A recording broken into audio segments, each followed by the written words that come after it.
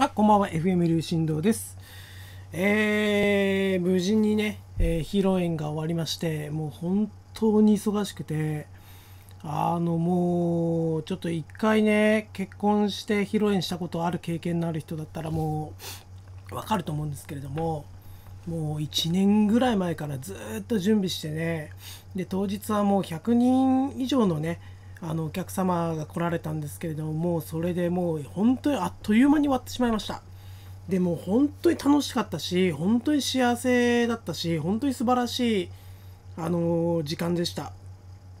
で終わった後もねいろいろあのお礼の挨拶があったりとかねあのお礼回りをしたりとかあとお祝いのねあのお礼品を送ったりとかまだそういうのが残っててまだまだね忙しくて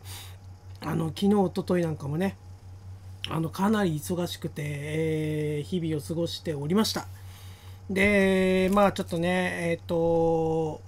まだまだちょっとそういう忙しい日が続くので今日はもうとりあえず終わったっていうね報告だけねさせてもらって、えー、でちょっともうちょっとねえっ、とお時間いただいてえー、平常運転というかね YouTube の方も平常運転でやっていきたいと思うんですけれどもまずまずはね